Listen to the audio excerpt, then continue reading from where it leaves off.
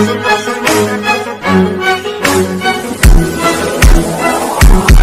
ਪੂਰੀ ਦਾਰੂ ਪੀਣੀ ਵਾਲੀ ਤੋਂ ਲਾਲ ਟੋਪ ਪਾਲੀ ਕਿਤੇ ਹੋਣਾ ਜਾਵੇ ਟੱਲੀ ਮੈਂ ਤੋਂ ਜਾਣੀ ਨਾ ਸਵਾਲੀ ਮੈਂ ਕਡਾਂਸ